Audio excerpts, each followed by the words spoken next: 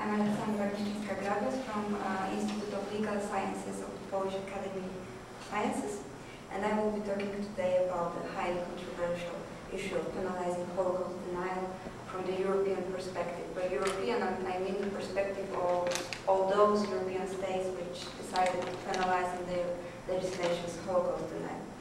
Um, I must admit that I feel it's not the wisest idea to talk about Holocaust denial one hour after Professor uh, says, but I will try and I will try to do it in the best possible way.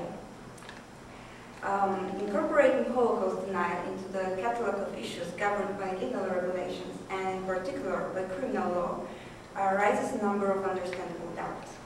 Because aside from the controversies related to the indisputable, in this case, um, problems with the freedom of speech and restricting freedom of speech, there are also problems uh, with the form of legal regulations uh, which ban dissemination of negationist theses, as well as with the effectiveness and consistency of their enforcement. Thus, every single court trial and sentence for Holocaust denial in Europe has to raise a feeling of distrust and even objection in the United States. And therefore, the question whether and how to punish someone for Holocaust denial poses a specific challenge for all those European enthusiasts of the greatest possible freedom of speech, who at the same time see the need to resort to legal instruments um, in order to protect different values and the rights of others. The essential differences between uh, European and American understanding of the free speech doctrine make it hard in the First Amendment ambience to accept the restrictive way of dealing with negationist thesis in many, although not all, European legal orders. I will try today to introduce some of arguments used in the European discourse on that difficult issue. In 1984, during a research seminar held at the Hebrew University of Jerusalem, Professor Israel Gutman wondered uh, whether Holocaust denial was simply a short-lived phenomenon or if it had a future and would have to be dealt with.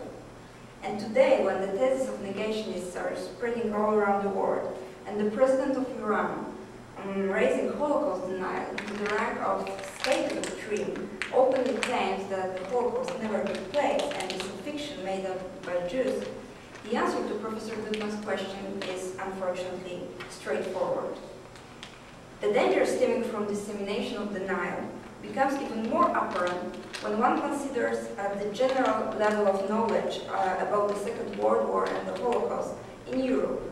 Of course, the society itself, the nation itself, and the level of its historical awareness has always been the best guarantors of preserving historical memory.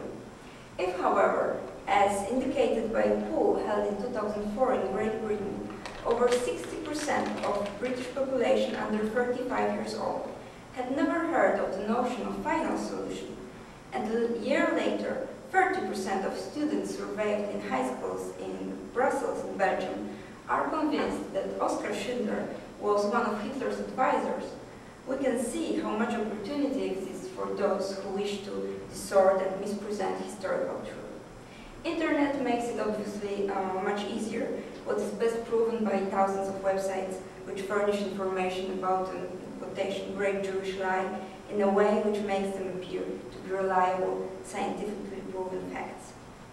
Obviously, the low level of society's knowledge about the Shoah uh, or the lack of the appropriate um, response to its negation are not in themselves a sufficient justification for punishing for Holocaust denial. Also, the postulate of penalization to denial should not steal solely from the fact that the claim of negation is evoke moral objection. What are then the reasons uh, to recognize the legitimacy of the punishment for words in case of Holocaust denial? The grounds for such legitimacy, identified by the legislators of particular European states, as well as by the European Union Council of the European Union uh, in its common framework decision on combating certain forms and expressions of racism and xenophobia by means of criminal law from 2008, which in Article 1, Section D, places the European Union's member states under obligation to use necessary means to ensure penalization of, among other crimes, um, the crime of Holocaust, are the following. First, the need to turn the memory and honor of the victims of the Shoah into a legally protected value. Secondly, the conviction that restricting the negationist freedom of speech is acceptable in order to protect crucially important element of a national identity and in broader context of the identity of the entire European civilization. And thirdly, the recognition of negating the Shoah as one of the modern forms of anti-Semitism, as a kind of hatred speech addressed to Jewish people, the consequences of which may lead not only to rise of anti-Semitic moods and attitudes, but also, to acts of violence committed on that ground. Such prerequisites of more universal and axiological character are a kind of an attempt to formulate a justification for introducing legal ban uh, on propagating Holocaust denial. They indicate the legislator's rationale for using penal sanctions against negationists. Let me now briefly refer to all three of them. First, the memory and honor of the victim prerequisite was particularly strongly stressed in case of Germany, where inflicting punishment for dissemination of Holocaust denial is possible, among other legal methods, on the basis of regulations which prohibit insulting and humiliating the dead. However, adopting such an attitude uh, is tied with the risk of the negative effects of court trials of Holocaust deniers, because often they can turn into a kind of peculiar court show during which deniers get a chance to present their thesis in front of a wider audience, which may be seen as an additional insult to the memory of the murdered. However, the consequences of accepting this kind of presumption may be the assertion that actually nobody who tries to prove the legitimacy of his illegal actions in the courtroom should be punished, as it could simultaneously encourage others to take similar actions or insult the feelings of those who are the victims of such actions. Moreover, and for me personally, the moment when David Irving, a notorious Holocaust denier, denounces, even if only for a short while, in front of an Austrian judge, and loudly admits that the Holocaust was indeed a crime of Nazi Germany, and gas chambers were really used to kill people, Jewish people, ridicules the whole negation movement and proves how weak the basis of its ideology is. The essence of the second argument listed, related to the preservation of historical heritage, is captured well in the words of Professor Marek Safjan, Polish judge of the European Court of Justice in Luxembourg, which were also spoken in the context of discussion on penalization of Holocaust denial. I quote, Human memory is short and deceptive, while the trivialization of lies and hatred disseminated in public space may have shocking and destructive effect, particularly for the young generation of Europeans. End of quotation. Therefore, punishing negationists in this context is also aimed at impending the process of the gradual fading away of the memory of the Shoah and the essence of totalitarian regimes, which, after all, are not bygone. This argument emphasizes also the educational role of law and of the state, which through the introduction of kind of taboo uh, protected by law fulfills the, fulfills the task of affirming certain values, such as commitment uh, to the rule of non-discrimination on the grounds of national, racial, ethnic origin. And when it comes to the third argument concerning hate speech and hate crime, while most often the statements negating the Holocaust do not translate um, into a hostile, hateful, anti-Semitic references, um, the anti-Semitic motives of disseminating such messages become obvious uh, for anybody, I think, who analyzes them in a broader context. Negating the crime of the Holocaust has been described as a manifestation of anti-Semitism, among other documents, in the European Commission Against Racism and Intolerance Recommendation number 9, and in the document entitled Working Definition of Anti-Semitism, prepared by the experts of the European Union Agency uh, on Fundamental Rights, as well as in a number of resolutions of the European Parliament.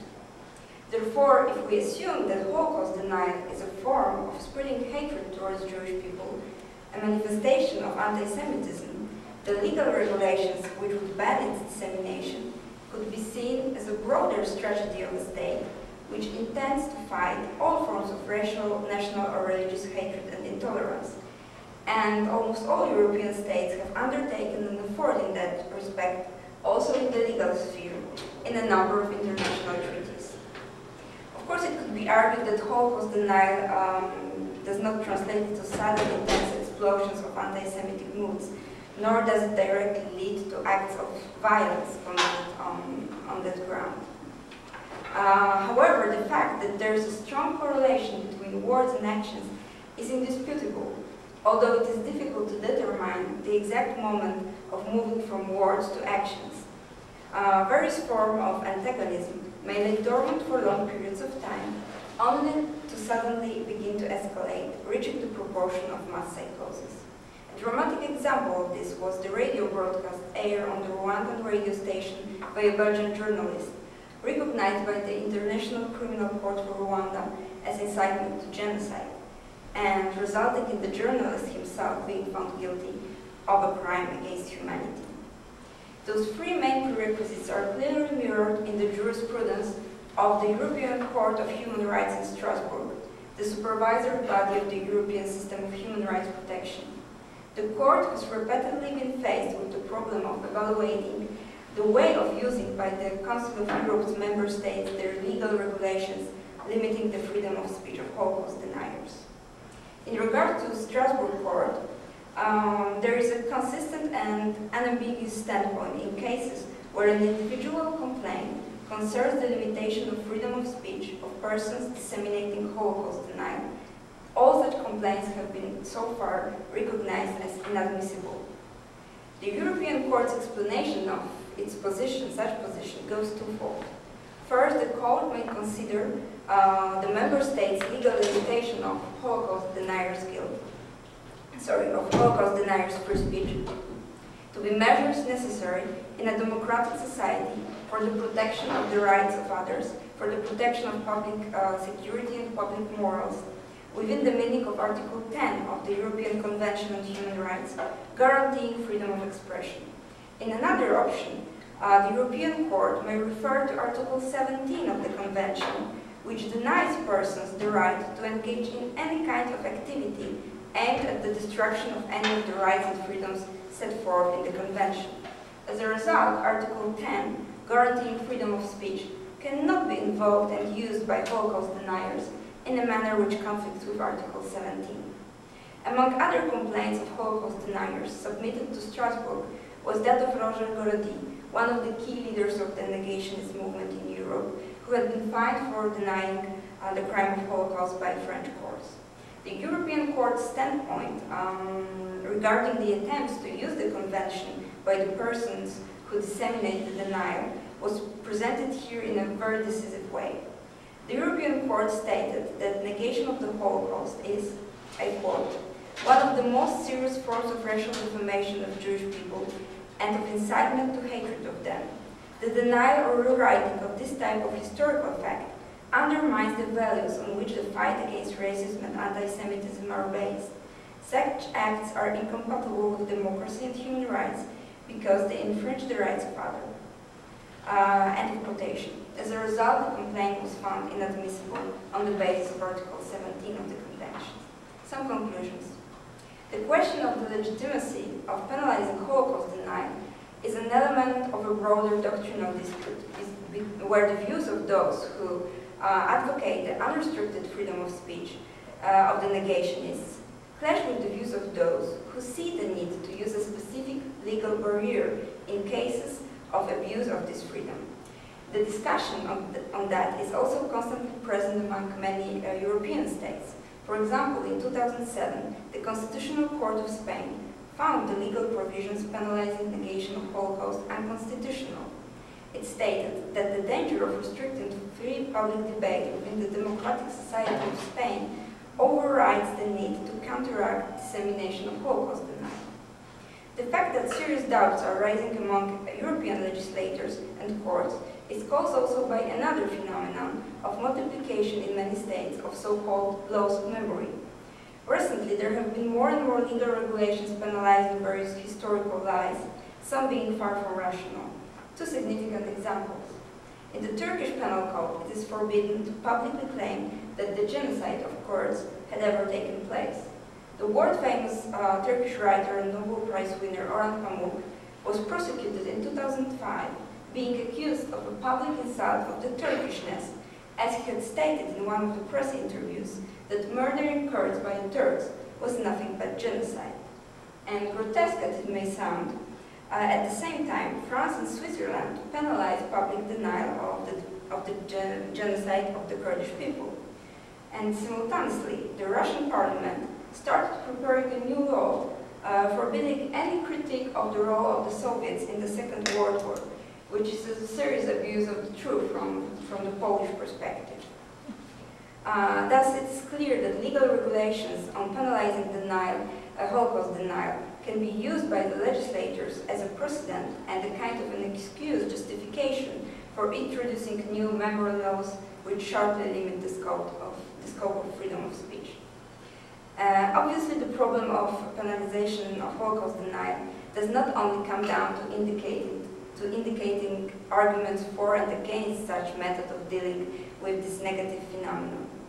The very shape of the particular legal regulation, including the form and scope of penal sanction and the manner of using it by the courts, by national courts, is equally important and again at the same time controversial because these elements most often decide on crossing the thin line between justified restriction of freedom of speech and excessive legal repression, uh, which limits that freedom in an unjustified way. Thank you for your attention.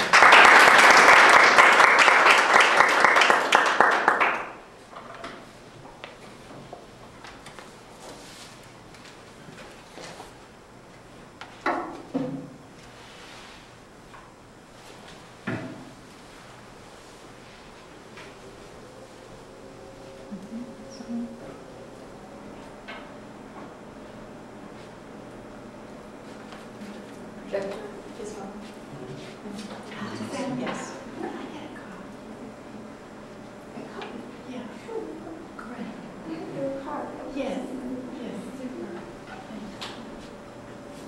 It's just warming up, it takes about a minute.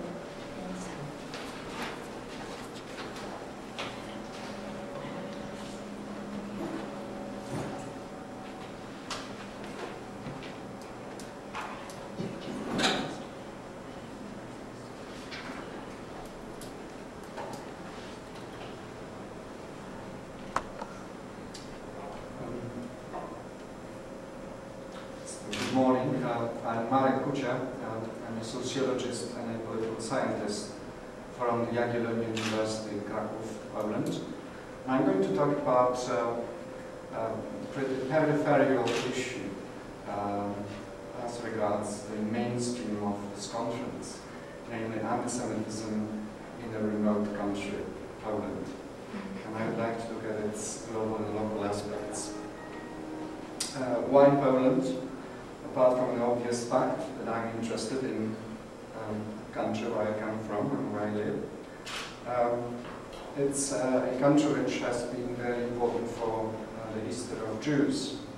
Today, Poland is populated by uh, more than 1,000 Jews by self-identification in national census, or by four or 5,000 according to the uh, registers of the uh, Jewish organizations in Poland, or according to uh, um, about 40,000, um, which is the data given by uh, some American Jewish organizations. What is the exact number of Jews in Poland, we don't know, but it's between 1,000 and 40,000, or as some anti-Semites in Poland say, Six million. six million. But Poland, before the Second World War, was a country with uh, one of the largest Jewish communities uh, uh, in the world, counting around uh, 3 million. In this conference, actually, I've come across a lot of people who have got uh, uh, roots in Poland. Um, that was 10% of the country's population before the Holocaust. Um, 150 years ago, about 90% of Jews living in this planet were living in this area, which is or was Poland or the Commonwealth of Poland Lithuania. Now then the Holocaust came, and that's another reason why I decided to look at uh, anti-Semitism in today's Poland. I was interested in uh, why there is anti-Semitism in uh, the land where the Holocaust has largely happened. Um, it's the uh, annihilation centers, annihilation camps. Auschwitz is actually 30 miles away from where, where I live and teach. And there is still anti-Semitism in the place where I live and teach. Reportedly, is pretty high. Um, Yitzhak Shamir, uh, when he was Prime Minister of Israel, once said that all Poles had sucked anti-Semitism for the mother's milk. Now, if we uh, exclude those who were not breastfed, this is a pretty large estimation. Um, well, if we take uh, other estimates, it's still pretty high. The Anti-Defamation League surveys anti-Semitic attitudes worldwide. And that's the results of a survey which they did uh, a year ago. Uh, I don't have the time to discuss all the results, just one question which measures uh, anti-Semitic attitudes. Uh, whether this is true or not, respondents uh, uh, are um, asked to say. And that's the results from around from several countries of Europe. Here we have Poland with 55%, more than half of Poland's adult population, which believes that this anti-Semitic statement is true. And there is no consolation that there are worse than us, like Hungarians or Spaniards. Uh, it's pretty high. Now, is this really so high? Um, I was trying to establish this, uh, and then I was going to uh, um, find out who the anti-Semites are. Um, then I was going to uh, analyze how the anti-Semitic views relate one to another, and I was going to compare my this year's data with some previous results. And that was the um, uh, quantitative part of my project, which I carried out through the means of a survey. But I uh, decided also to go deeper into, into the problem uh, through uh, some qualitative uh, research, through the means of uh, focus group interviews, which have the aim to determine what antisemitism, what antisemitism means, or what antisemitisms, if there are more than one, mean, and to reveal the structure of uh, the anti-Semitic opinions. Um, my project uh, has been part of a larger project, title. I've been uh, involved in Auschwitz research, in Auschwitz research for many years as a continuation of this project, generously sponsored by the Polish government, the Ministry of Science and Higher Education, and I don't quote number Now, my uh, uh, theoretical um, um, assumptions were that we've got a variety of anti-Semitism, while trying to survey it, one has to define uh, uh, the categories. So there is modern anti-Semitism, um, and there is religious anti-Semitism, and there is, or traditional if you prefer, and there is what I called post-Holocaust anti-Semitism, which uh, has not been surveyed before in um, my country. And there's, of course, new anti-Semitism.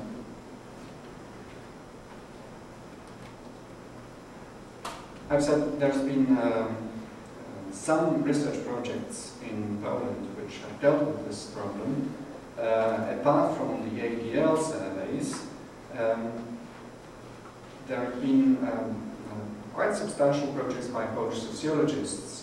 Uh, Helena Datner is a woman sociologist from the Jewish Historical Institute in Warsaw, and she and uh, Krzemiński, a professor of sociology from the uh, uh, University of Warsaw, um, started a launched a major project in 1992, which Datner repeated partly in 1996.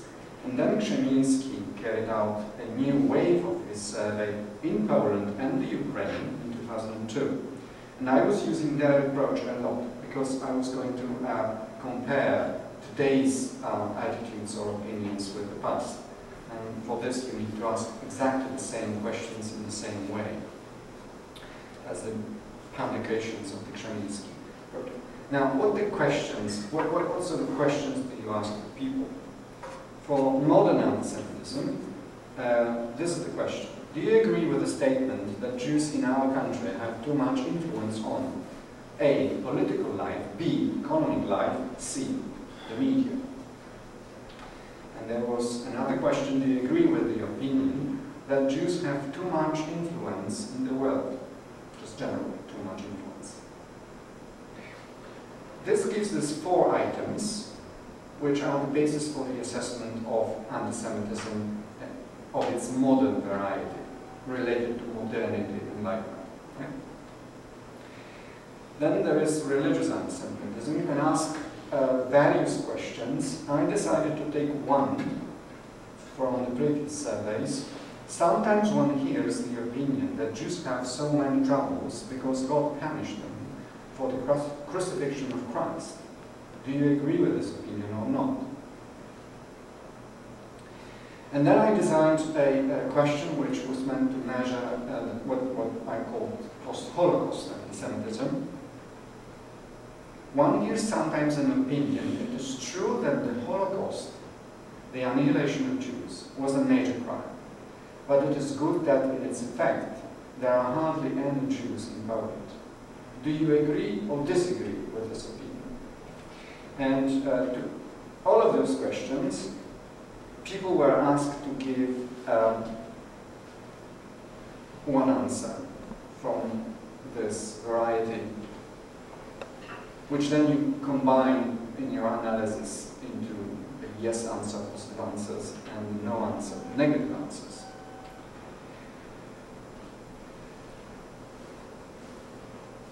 Well, all surveys have got limitations um, we must realize what I'm going to show to you as results are opinions, not attitudes.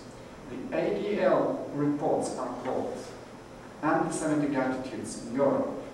And this is a little overview. You measure just one part of what attitudes are. Attitudes are composed of opinions and other things. So I was serving opinions. Then uh, questions may inform opinion when a respondent hears a question, he may actually start having an opinion on this question while the question is asked, not beforehand. And the style the question is asked is also informing people's opinion. Then there is, some respondents want to be polite to you. They would like to tell you what you want. So if you ask a question in a certain way, you may actually get the, the, the wrong answers. And then there is political correctness and incorrectness. In some circles, it's politically incorrect to speak against the Jews. And people would say, difficult to say, right? In other circles, it's politically correct, or oh, whatever we say, incorrect, right? To, to criticize the Jews, and they would go on, irrespective of their own point of view. And of course, we are all tired surveyed all the time, so my response are.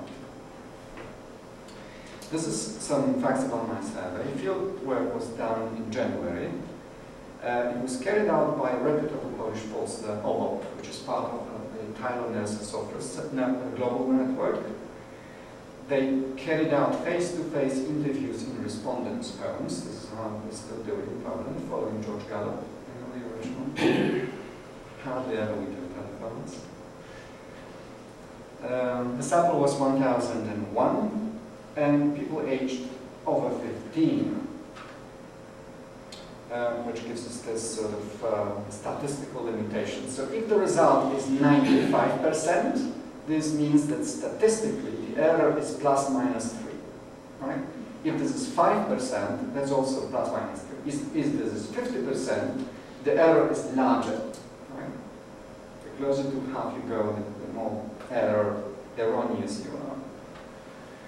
That's the results.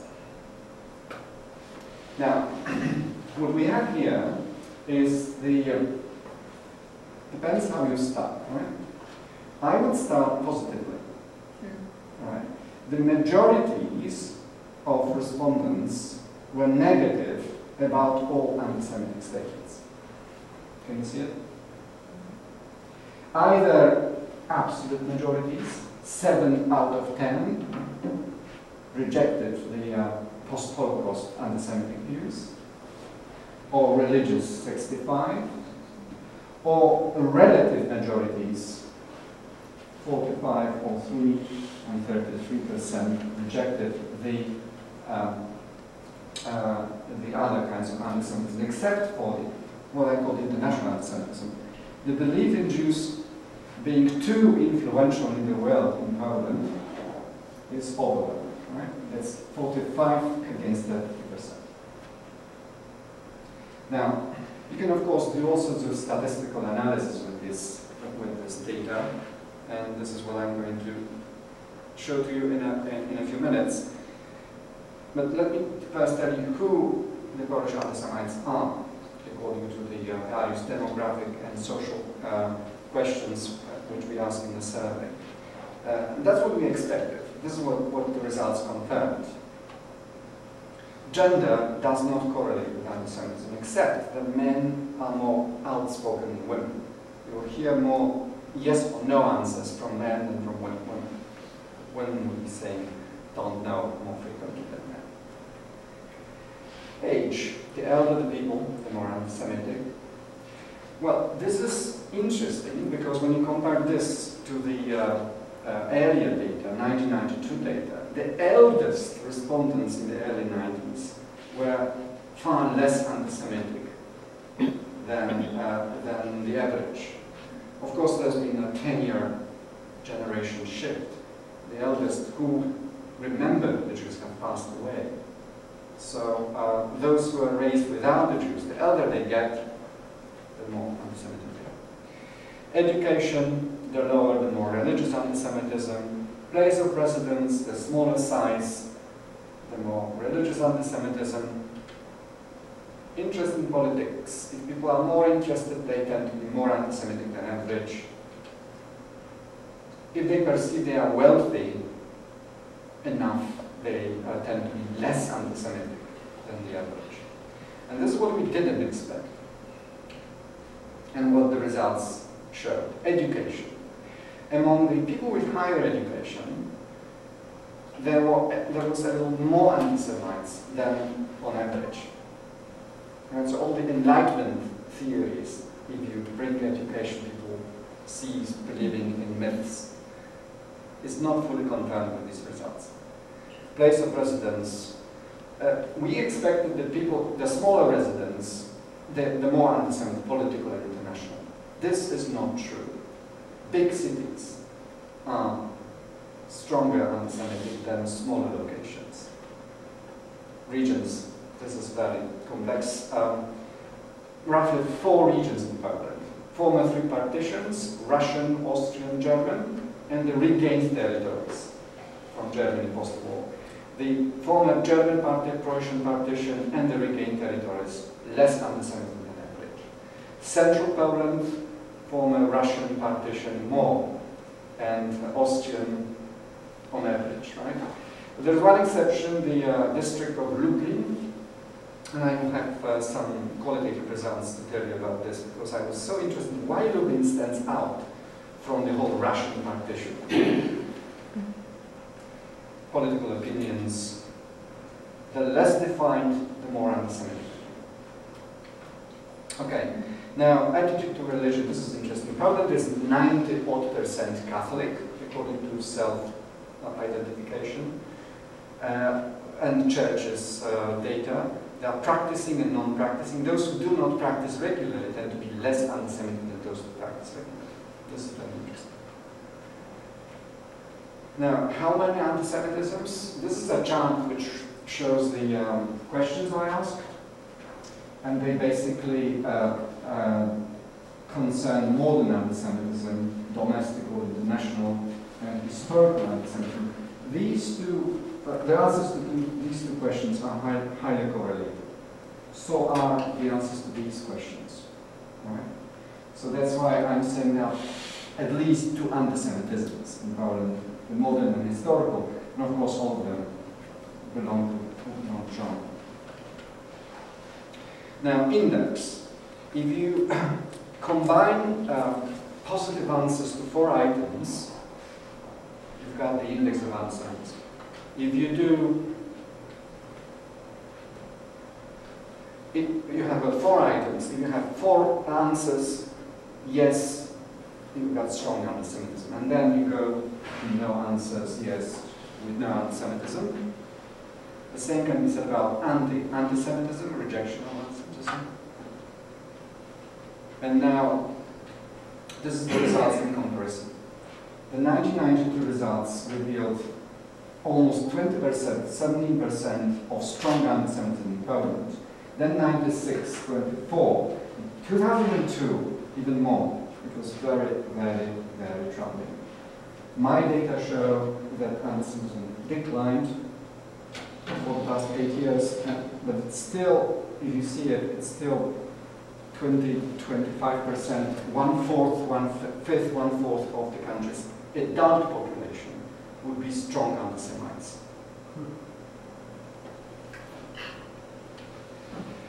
Qualitative. What do the anti-Semites say? For this I chose uh, to do group interviews with Catholics in three locations, and I did work myself with my students in June this year, and I will give you some ratings. Who are Jews in our country? I was curious to know. If this question is asked, what, what those people would say? How big is the sample? The qualitative, the qualitative, you choose groups which would be of a small size. You are not interested in a large sample. I did three group interviews uh, between five and nine people each in order to, you know, hear what they say rather than to count how many people say what. Yeah. Original sample was about the, yeah, no, the sample for the survey was 1,000.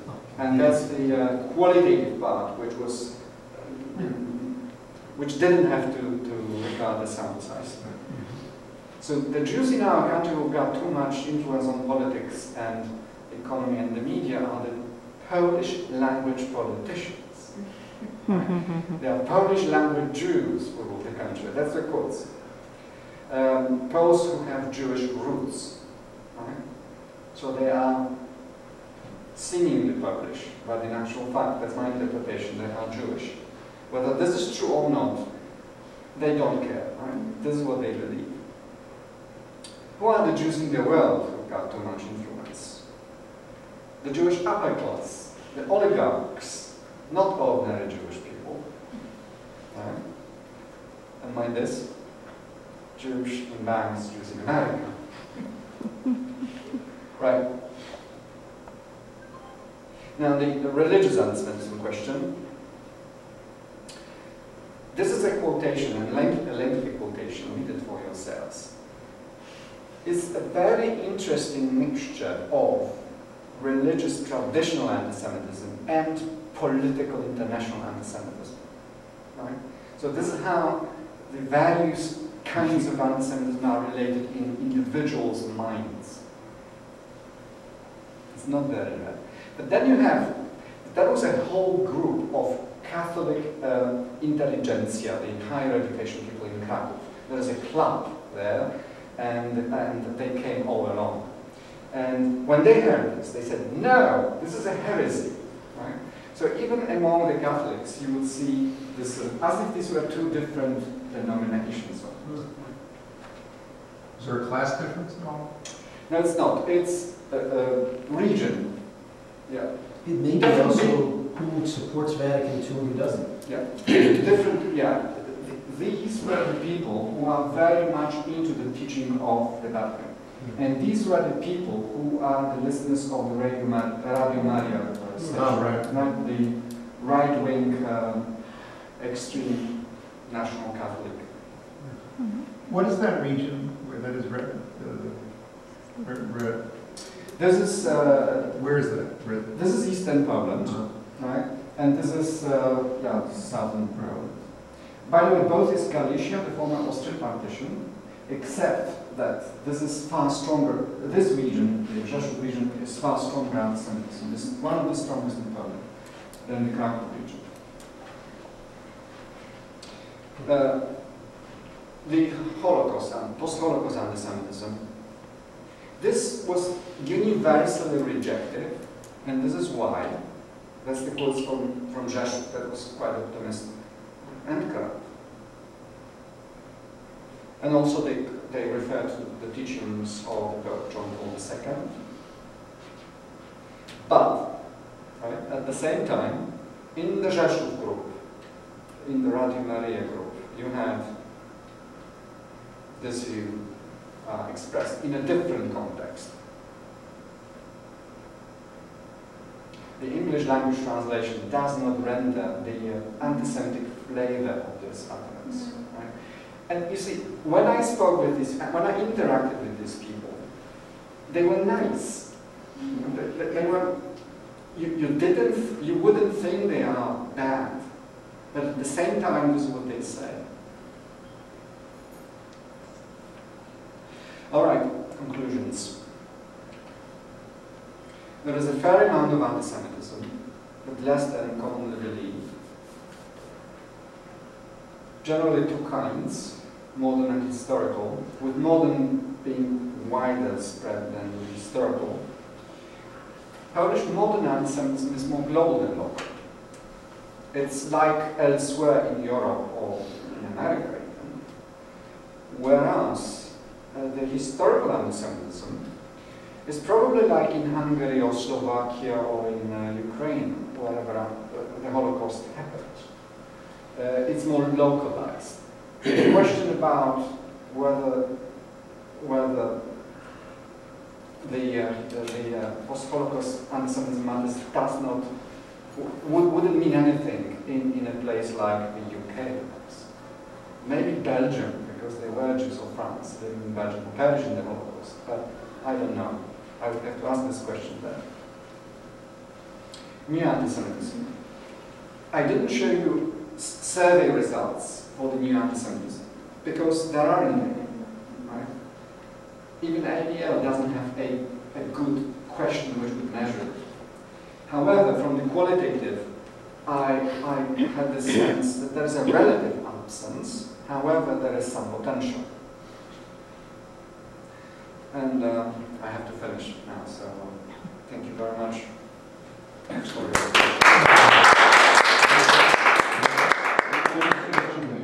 First of all, I, I want to commend you for this paper. It's one of the best papers I've heard at this conference. It's really excellent.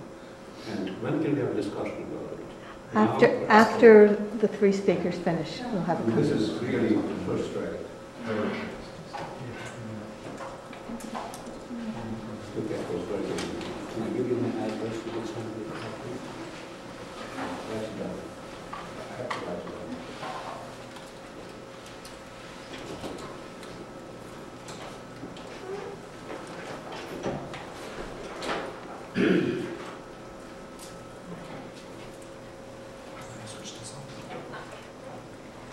Do you need it?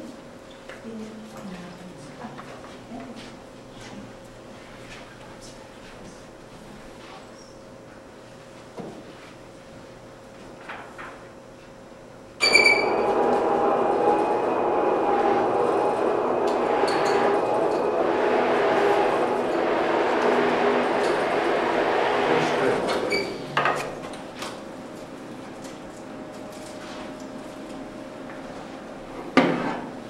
I'm Barbara Wind, I'm the Director of the Holocaust Council of Metro West. Uh, And when uh, the call for the papers for this conference came, uh, I was very interested because I had been very curious about the effect of the resurgence of anti-Semitism on survivors. I work with survivors all the time. I, uh, I don't work with them in a social work kind of way. They are part of the education that is very much part of my, my role in the council. Um, I don't know if any of you heard the news report this morning of the nine-year-old boy who saved his brother's life in the swimming pool. It was a swimming pool accident, the mother panicked, uh, and, uh, and the nine-year-old saved it by, because he knew how to administer CPR. And I'll come back to that uh, in the conclusion of the paper. Um, I'll begin uh, with uh, the, the um, reference to the song Biahin. It's a Yiddish song. It was written during the Holocaust era by uh, Y. Uh, Horn, Uh, Polish, a Polish writer who was murdered in Auschwitz. And uh, the song begins, where, where shall I go? Who can tell me where? Uh, where shall I go uh, when there is no place for me? No one, all the doors are closed to me. And uh, I have the sense that our survivors are feeling that again, that that, that song is echoing again uh, as, um, as they're remembered, the slogans they remember of the 1930s, Poland is for Poles, Jews, Jews to Palestine, have become Jews out of Palestine, and the uh, Helen Thomas uh, outburst, Helen Thomas, the White, the White House journalist, who said that uh, the Israelis should get the hell out of Palestine, and when, when asked where they should go, she said they should go back to Poland as, as, you know, assuming that all, all the Jews came from Poland. Well, certainly, uh, the, in my study, the Jews didn't all come from Poland. Uh, my study was very, very select in that I, I interviewed five survivors for this. Um, five of the survivors who are among our youngest survivors, they were children or teenagers during the Holocaust. All but one of them lost, uh, lost uh, uh all only one of them lost every member of her family. All the others survived with some or all family members intact. Um, and um, they all, um, one doesn't call himself a survivor, calls himself an escapee or a refugee, but we use the Yad Vashem definition of, of a survivor, anyone who, who was in camps or, in, uh, uh, or who fled from Nazi Europe. Um, uh, so uh, all, all the, the other four survivors were all helped by, uh, by righteous rescuers. So that, that, uh, that group, that subject group, is very special in itself. And it doesn't, and this paper doesn't purport to, uh, to give a broad scope, the, the survey of, of the reactions of survivors, certainly the older survivors, certainly the survivors who survived as as complete orphans, uh, and certainly the survivors who met no, um, at least not -face, any righteous rescuers. So given that, um, I just uh, wanted to tell you that the, the, the hypothesis for the study was that living with the memory of the Holocaust and its prelude has made survivors keenly alert to current anti-Semitic rhetoric and threats. Consequently, the effects of these threats have more, more pronounced uh, uh, impact on the survivors and, uh, than on Jews who have not experienced the Holocaust. Um, the method, as I, I mentioned, uh, was to draw a, a series of questions, uh, and I did this with, I chose my survivors. They all the, this, the, the, survivors I asked all responded that they wanted to be part of the uh, process. I actually emailed them because I didn't want them to feel compelled, and I thought it would be easier to, uh, to refuse an email, but they all wanted to be part of, of this survey. Um, and um, the interviews were conducted one-on-one. -on -one. I, I videotaped them and um, also took notes as they spoke. I didn't interrupt them. I didn't, uh, I didn't uh, I didn't um, bring in any other issues that, than what they remembered. I wanted the responses, these responses for this particular survey to be immediate and visceral. Um, and I, I believe that uh, the, um, the value of this has, uh, is, is for part of understanding, a comprehensive understanding of the effect of the Holocaust on survivors, um, more practical, uh, its value for uh, physicians and, and uh, mental health uh, therapists, and uh, for me to share, to, to, share with people who are here and interested in, in hearing the results. So um, my uh, questions, I, I, I grouped my questions into, into five, five topics. uh, their personal response to the new anti-Semitism, the survivor in the world, uh, Israel, their reactions to Israel, uh, after the Holocaust, in other words, the Holocaust effect on, uh, on anti-Semitism, and uh, just a, a, general looking back and going forward. Uh, I don't think I have the time to give you the histories of, of, uh, of my survivors. They're very, very interesting um, and unusual, um, as are all, are all the stories of survivors, but I think these are particularly so. And, but uh, if there's time at the end, we can, we can address that. Um, and so I do want to share uh, the conclusions, which I think is, is what, uh, what, what interests you all here.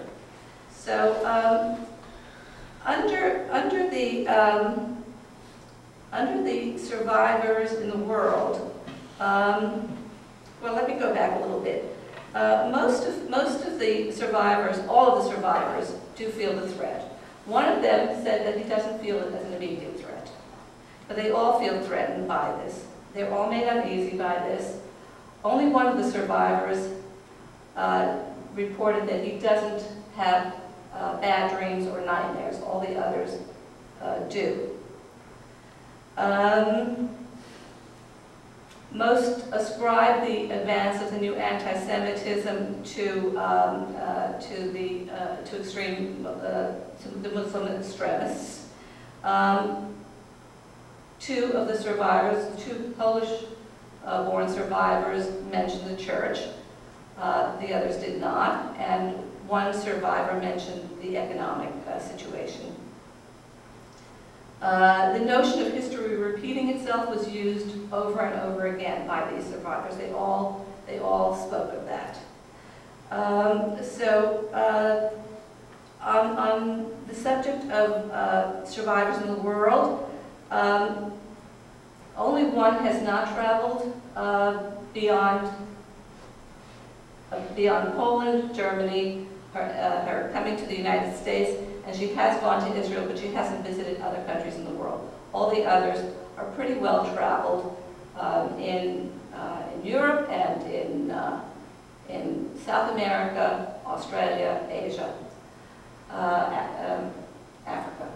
One, one has visited Africa, and one, one, uh, one actually trekked just a few years ago through Tibet. Mhm. So uh, it gives you a sense of, you know, how vital these survivors actually are. Even the one, the one who is, who is, um, who is suffering uh, illnesses related to the Holocaust, um, fights against that every day and uh, doesn't complain and just comes and does her work. So uh, this is a, a, a rare, rare group. Um, they all mentioned that uh, in traveling they did not encounter anti-Semitism.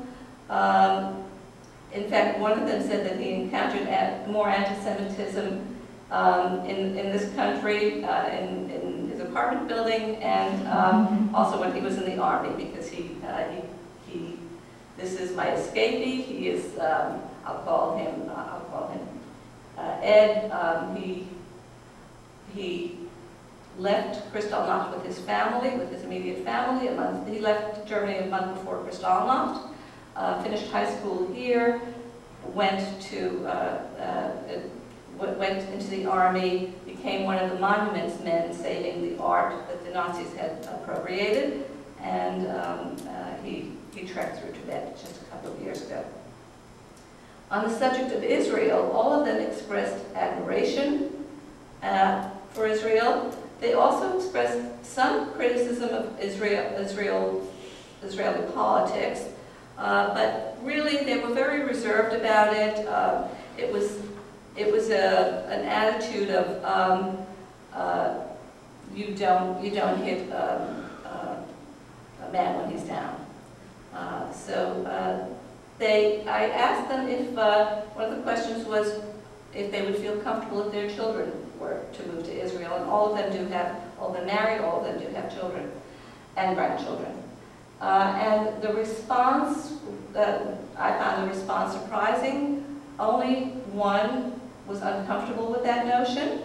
Um, uh, one thought that, uh, that uh, they would be more secure in Israel than they are here um, because of Israel's security, not because of he's, he's, he's, he's very right-wing and he believes that Israelis know and do more about security than the United States does. So that was, that was the reason behind that. Um, two of them said they would follow uh, their children there. One did not. Uh, one would not follow, but he would not be upset if the children moved there.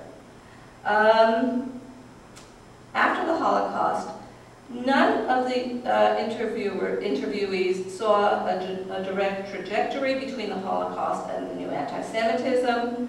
However, they are saddened and disappointed that the, that the Holocaust hasn't eradicated this hatred as they had hoped it would. Um, one of them uh, suggested that it was, uh, it was so contained, it seemed so contained in the 1950s and 60s uh, and uh, maybe early 70s that its eventual demise seemed possible. Uh, he was the only one that mentioned that. Um, uh, Lena, uh, my, my Holocaust survivor who was, um, who was, who was the only one who suffers illness, uh, considers it possible that the Holocaust encouraged anti-Semitism because in Poland it achieved the nationalistic aspiration voiced before the war, Poland is for Poles, Jews go to Palestine. She also stated, what happened can happen again. All voiced belief in the necessity of education, though not necessarily through museums and memorials. Some of them, they indicate, some of these in, they indicated may actually have a, a deleterious effect. With the exception uh, of, uh, of one survivor, all believe that the long delay in delivering Holocaust education has had a, has had a negative effect and has led to uh, the more recent genocides. Um, Ed wondered, Ed is my, my Tibet trekker, wondered what the Holocaust can teach, but he answered his own question. He has witnessed the positive impact of Holocaust education on students and also adults. Furthermore, the recent return of some of the Nazi-stolen art to Holocaust victims and their heirs has impressed him. Looking back going forward, most survivors cope with the new anti-Semitism by adopting a positive attitude, staying physically active, intellectually engaged, and socially involved. Lena, uh, and she, she was my Polish, survivor who suffers, is convinced that many of her ailments result from Holocaust-related injury. She still has a bullet in her thigh, which she got when she jumped off a train. Um, uh, and, um, and the stress of coping with memories as well as the new anti-Semitism. Um, although she views the current socio-political and economic situation uh, as 1930s redux, a vivid history of what I went through. Uh, Ed negates the uh, physical effects of his stress. He is determined to live to be 100 as one of his grandfathers did. Uh, all emphasize the importance of vigilance, of speaking out against anti-Semitism and other injustices, of interfaith dialogue and of educating people, particularly young people. Uh, and that goes back to what I originally said about the nine-year-old. The nine-year-old knew CPR, his mother did not. And when I heard that today, it, it reminded me of, of, of, of how important they consider educating the young. Uh, none of the survivors I interviewed have given up on America as a, as a secure sanctuary for Jews. Unlike, unlike an increasing number of European Jews, none of these survivors have bought a safe uh, have sought a safe contingency and bought a rented suitcase apartment in Israel. Um, is my time up? Yes. Yes. So thank you very much, and um, I'm happy to answer your questions. was affordable and was largely designed for this, because we asked ourselves, how does this transmission take place within the, in the country? It's not as official, not formally, not officially to boot and not published. Is it published in Poland? And It is. When just uh, last week, there was an interesting item in the, in the uh, Polish uh, and the uh, Poland report on this philo-Semitic trend. You didn't discuss it, the philo-Semitic trend in Poland. This nostalgia for Jews, which minorities had, and so on. And a few uh, ardent, fanatical philo-Semites went around buildings and wrote, here live Jews. We are missing the Jews. They were arrested by the police because the police thought that they were insulting the word Żyd as, a, as an insult, a definition in Poland. So this paper uh, is, is extremely interesting because there's the Jewish conception which I myself, I'm a scholar by profession, but I myself share that if I were to ask, if I were uh, spontaneously to say, where is the assembly most deeply rooted? It is Poland, it is uniform, it is universal, and what few. And this is a common belief which I, I should know better, instinctively have that, that same, uh, that same attitude. What impressed me most was when we study, first of all, the Holocaust, the political parties in Poland had all political parties, except for the PPS, the PPR, and a small anarchist group, had a provision that Jews should not be citizens of Poland after the war. When I read that, that I was shocked. Jews have been burned by millions. And the leading political parties in Poland, you can find that in the Ringelblum's, uh, book, Poles with Jews during the war. A, it's translated, translated into English. That was to me horrifying. That, by the way, the same was true of the, of the, in Germany. All German political parties, with the exception of the communists and socialists, in the opposition to Hitler, did not want to grant the Jews full equal rights after the war. Of course, they would stop discrimination, but Jews should be at Fremdenrecht, which means uh, right of, strangers, that not so. The other, I just want to raise a few points because I have so many points, but other one is intellectuals and anti-Semitism. You'll find this in Russia as well. Uh, Orwell used to say there are certain absurdities which only have to be highly educated to believe it. Uh, and I become more and more convinced of this as I study German anti-Semitism. Uh, the idea, for instance, let's take a Nazi idea, which was, uh, which was sort of orthodox in Germany uh, under the Nazis. Every Jew is a criminal, is born criminal. The Jude is the geborene Verbrecher. I, I, I tell the Christian, I discussed with German Christian, they said, means God revealed himself among some to a gang of criminals. Now, the average German was more skeptical towards this. What is it? It doesn't make sense that every Jew is a born criminal. It just, it just makes no sense. But if you study something, something in German with a footnote, now the German genuflects before footnotes. The more footnotes a study has, the more persuasive it is. And if it has bears a patina of scholarship, it's very persuasive. Intellectuals were prepared to believe the most monstrous things, which the average German was skeptical of because it made no sense for him. He didn't read any books. He had common experience.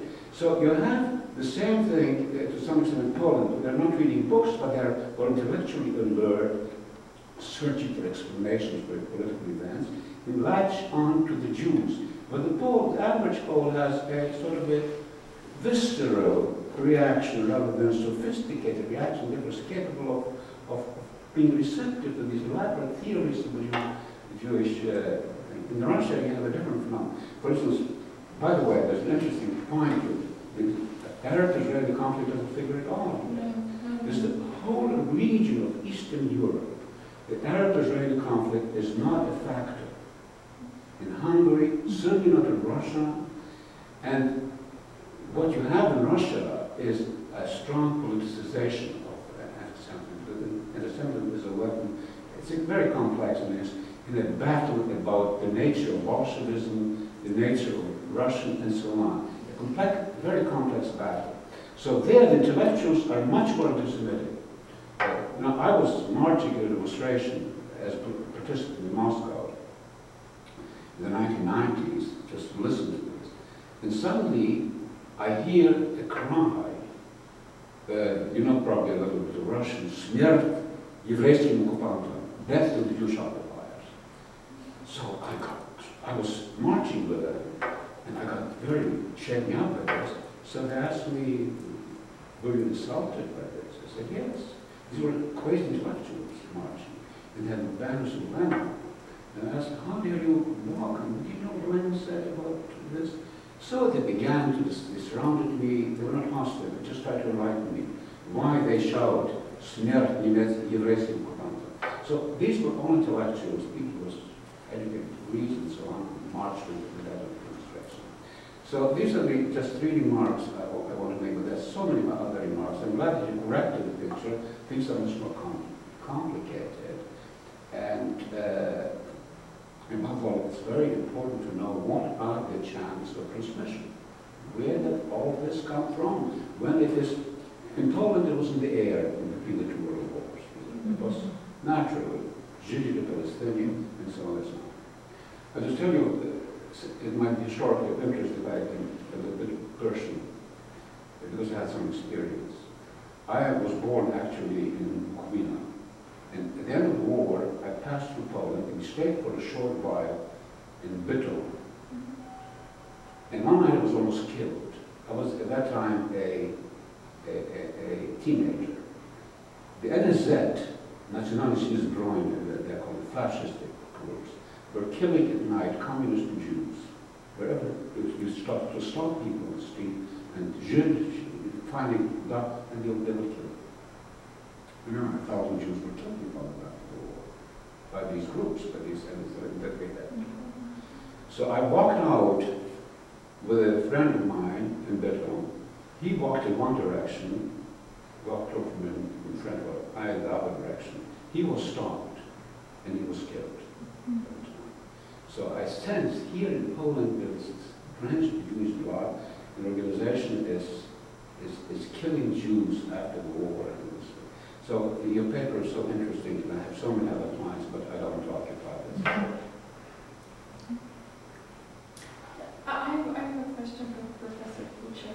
Um, I'm interested in uh, the relationship between what you talked about and events of 1967. Um, wasn't there a state-sponsored or state-motivated campaign in Poland against the Jews? 68, okay. Um, and what was the population, Jewish population like before that campaign? What motivated it? Um, what was its, what do you think its effect was on Polish attitudes toward the Jews? And how many Jews actually emigrated at that time? That was a state or Communist Party sponsored um, wave of anti-Semitism. And did it resonate in Polish society? Direct, yeah, yeah, to, to some degree, yes. It's hard to say to what, because it was a closed society, no way of measuring public opinion surveys. Uh, and a lot of state-sponsored rallies, but from uh, what we now call qualitative, from the uh, utterances recorded or diaries, uh, from interviews which historians now do oral history interviews with the people who remember this period, there was a fair amount of support uh, of this anti-Semitic campaign by the ordinary people. That was the, that which was basically targeted to the uh, remnants of the Jews of Poland, the ones who were highly assimilated, uh, and many of them did not even feel themselves Jewish. They felt themselves Polish, but they were remembered their Jewish origin, and they were forced out of uh, the uh, party or state mm, positions and forced out of the country. Um, that's the, that was the last big wave of Jewish emigration from Poland, after which there are hardly any people in Poland who would consider themselves Jewish. I mean, the 1,000 plus figure from the last census, this is really minimal. By the way, in that census, uh, people could choose only one self-identification. Right? So we, today's idea of multiple identities was not part of the methodology of the survey, of this sorry, census, which by the way is going to be repeated this year. Um, sorry, yeah, this year. Um, again, without multiple choices possible. I would like to add to that that uh, one of uh, my survivors that I interviewed for this paper uh, was one of those Jews who, uh, who came to the United States after 1968. Um, and she came, uh, she came here because her son wanted to come here. She lived in Poland. She was a very famous uh, stage star in Poland. Um, and uh, they, she lived uh, without referencing her Judaism at all. Um, and um, her son uh, was not told that he was Jewish until he came home one day talking about some dirty Jews that he saw, at which point uh, his parents uh, revealed that, they, that, he, that he was Jewish. At that point, he wanted to leave Poland because I think he, he felt threatened and, uh, and come to the United States. He's in the film industry, very successful. Um, and, um, but he doesn't consider himself Jewish and doesn't live here as a Jew and is in his second marriage now. Uh, neither of, the, of, of his partners uh, were Jewish and the children are not raised, uh, his children are not raised as Jewish. But, but I'm just curious, this is probably an impossible question to answer, but what do you think your statistics would look like if you were to have done these surveys, say, in 68? Mhm. Really difficult. If, if this was done in 68, af- after the, the uh, government-sponsored anti-Semitism, um, people would, would have said, finally there is not uh, too much influence of Jews in Poland, right? Because they, they, the, the, the, the remnants um, Jew, of, of Jews have been forced out of the um, influence positions. if you wish. If this had been done in 67, perhaps the answers would not even be different to the ones which I got, because I believe very few people in Poland um, would sense that those Jews who were forced out in 68 were Jewish. You know, much, de- much depends, much of those results depends on how people feel um, they are prosperous. Uh, that was partly uh, discussed by me. I mean, uh, anti-Semitism, in my understanding of my data, is highly related to um, uh, to uh, this sort of bad feeling about myself, uh, that I'm not doing well enough, my frustrations, particularly the uh, financial situation. And then if I uh, try to find who's guilty, I'm having a ready-made uh, answer, which is part of culture. Uh, Jews are guilty, right? Can you Well, mention the, the, uh, the- the statues uh, of the Jews uh, that are for sale in Poland? The Stereotypical. Well, that's that, that's one aspect. Yeah, that's another aspect of the story. But I was going to, to refer to, to, to the point which you raised in, in, in your comments about uh, the transmission through family. Um, it's it's very interesting uh, that you, you would it's social socialization as we call it in sociology and so, social psychology. It's very interesting because you don't have the same effect uh, of the family transmission in the areas where uh, there were many Jews before the war, and where the population, the Polish indigenous population had not been moved, as opposed to the areas where there were not many Jews before the war, and or the Polish population which is living there have been moved. I mean, uh, the, the extremes. Uh, the, uh, the region which I chose for my qualitatively, uh, the, the Rzeszów region, the Radio Maria people, uh, this is a very st stable region in terms of population movements. Who are living there are from the generations, the, old, the, the established Poles. There, there were uh, many Jews living in this area. Right? Uh, one of my maps was showing it. And then you oppo I oppose this to the areas uh, close to today's uh, Germany's border, right? The western parts of Poland which had been Germany before the war, uh, where the population, today's population, which is almost wholly Polish, was moved from uh, what used to be eastern parts of Poland before the war, which is now Ukraine or Belarus or Lithuania. But there were uh, many Jews right? And the, the, uh, the level of anti-Semitism in those two regions, today's eastern part, Rzeszów, and today's western part, Zielona Góra, are proposing high in Rzeszów and low in, in, uh, in Germany. Now, both um, people have got the transmission through family. Now, why is this transmission in the western region not having the effect of the same uh, amount of anti-Semitism as there is in Rzeszów? This is the question I cannot answer. I was just giving these facts in what established Polish population, moved Polish population, many Jews uh, living in the area, very few, hardly any living, and the remembrance of the Jews living in the uh, area of the forefathers of those people in Western Poland today. I mean, this is not working. So uh, I would I would argue that uh, migrants, emigrants, would be less anti-Semitic than the settled people. Mm. This is my my hypothesis. Um, What about the teaching of the, I mean, when we're talking about the family, what about the teaching in schools? yeah, that's another thing. Start from, Yeah, yeah. but I've got another chart, chart which I did not include in my presentation, which shows how low anti-Semitism is among this, the school uh, school students, the uh, 12 to uh, 16 year olds whom I surveyed, um, uh, not as part of this project a few years ago. Uh, and the, the level of anti-Semitism is minimal, it's 5%. So maybe, you know, some very, you know, is it taught in school, the Holocaust? Yeah.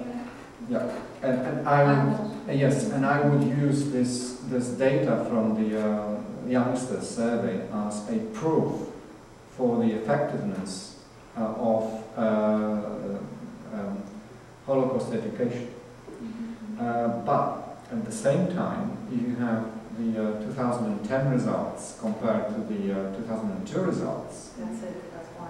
And then um, th- th- there is a table which I did not include, which shows, you know, 10 years ago, um, you know, I did, 2005 I did a survey, and Holocaust education has been around for some 10 years at least. So for the past 10 years, yeah, I mean, there has always been some Holocaust education, but very, you know, very um, uh, intense education has been around for 10 years.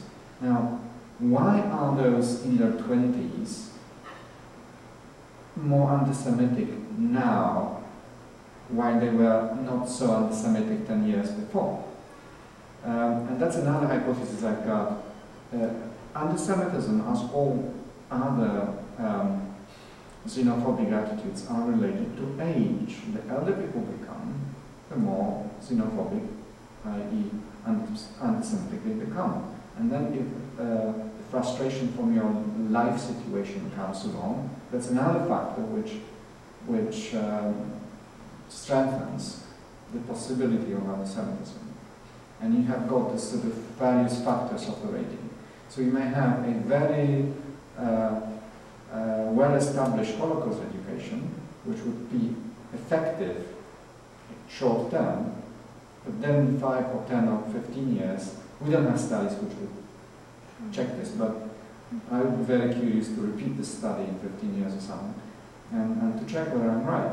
You know, this is something which you cannot cope uh, with unless you uh, have what is very trendy in the EU, lifelong learning, right? That you do uh, Holocaust education not only in, these, in, in the school age, but throughout uh, your life.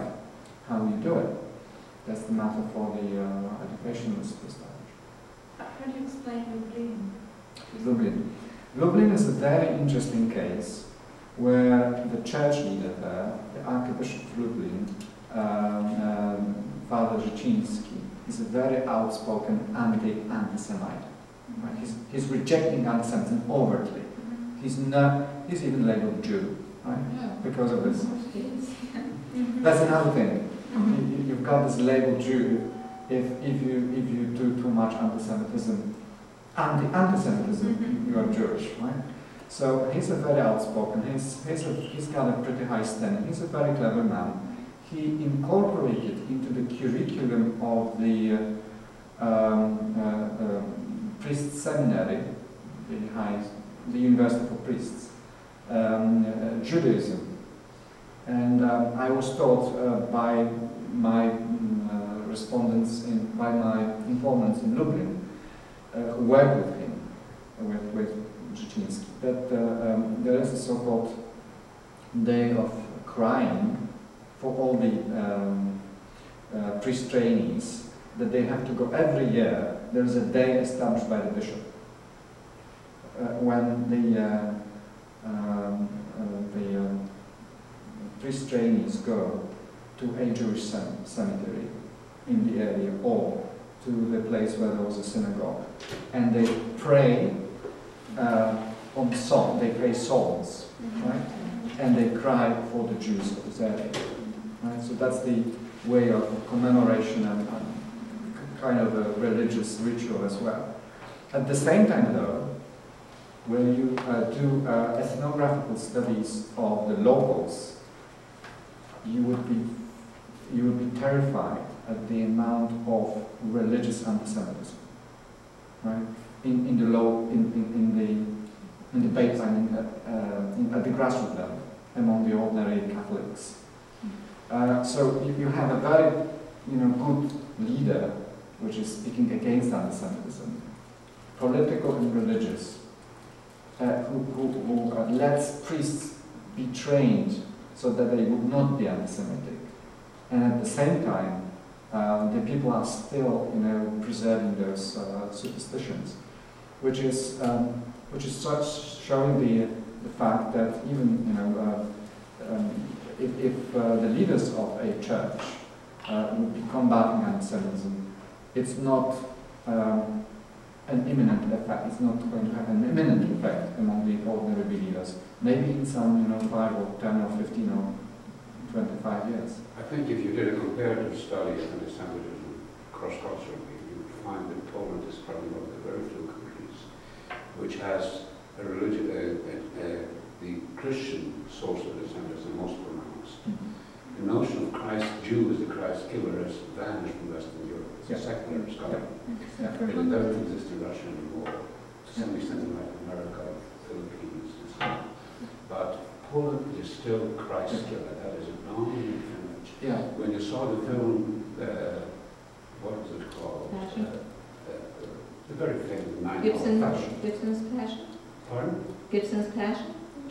The, uh, the one by the French, uh, by Lanzmann. Uh, Oh, Yeah. Jean Yeah. Charles. There's a famous scene survived when Jew comes and the congregation surrounds him and he asks them, why were you killed? So somebody comes forward and says, they were killed because they killed Christ. Uh, and so that is a very important element. And, uh, and the, the Vatican II, the little footnote in the Bible that the sins of the fathers are not interested in, has had no effect at all. It was a little footnote there which, which is a dead letter uh, as far as the influence. Well, except for you know some circles such as the uh, intelligentsia uh, from Krakow, the, the, uh, the Catholic intelligentsia from Krakow, who were you know who cried at once, all of them. It's a heresy, right? If you say things like this, so they rejected religious antisemitism. But the, this is where uh, Karol Wojtyła was the bishop before he became the pope, right? And this is where this uh, pope's influence, the, the, the, the influence of his teaching is alive. Poland is very famous for its cult for the Pope, which doesn't have much to do with, with the admiration of his teaching. Um, it's a country where we've got a very uh, peculiar mixture of Catholicism and nationalism. And that's the overwhelming majority of the uh, population. The, the people in Rzeszów, very nice women and men. Uh, I enjoyed a lot speaking to them, and they were very open to it. The, the, the, the, the things which they revealed were terrifying. Uh, the, there's another element perhaps which you have in Lithuania, which is very similar to Poland in this respect, with church interests and so on. And with resentment Poles feel at the belief in the West that they're so anti-Semitic, That is the theme. There was a ceremony, I remember, in Krakow last year, in which one priest, I forget what his name, was very violent attack on the Jews who defamed Poland. Now, the Jews as defamers of Poland, that is the theme. I don't know whether you would counter that. Anti-Polonism. Uh, uh, uh, Well, I don't keep. We have a question. Yeah. Okay, um, you were asking why the ten years between the two studies were so drastic. Isn't it that there's a lot more permission to voice anti-Semitism? No, No? uh, actually there is, it's becoming increasingly politically incorrect, right? Um, and uh, I wonder whether my results are 100% genuine, Genuine. right? Um, at the same time, um, there is this growing awareness that anti-Semitism is bad, is a bad thing. Mhm. No, the late John Paul II said it's a sin. You have to go to confession, right? Well, what do you confess? Now, um, you know, Catholics are meant to confess deeds primarily, thoughts, and these are thoughts. Right. Uh, well, these are light sins, so you don't go to confession with your thoughts. But at the same time, there is a certain connection between your thoughts and your deeds. This is what Jesus said. Mm, right. Right? Um, so, Now, I have a question unrelated in some ways, but how did Poland react when Hungary elected Nazis to its government this last year? Was there any reaction at all? No, I can answer, I hope. Uh, there was a rea- reaction among European Union states. Poland, I know that Poland actively uh, pushed other European mm, Union's member states to, to do something, to say something about it. Mhm. So this, I would say this was a diplomatic level of reaction. Mhm. That's Yeah. Well, thank you so much. Well, This has Thank been you. wonderful. Yeah. Why do you live in Poland? Why? Because it's a great country to live As a in. Jew? We as Do Jews, you, uh, do you have we are not Jews. No, you're not. no, I don't have How a do the Jews? uh, written, We are uh, written version, I have I'm in one presentation form. version. I can give you the presentation. if you wish. Yes, I will give you I- that. I-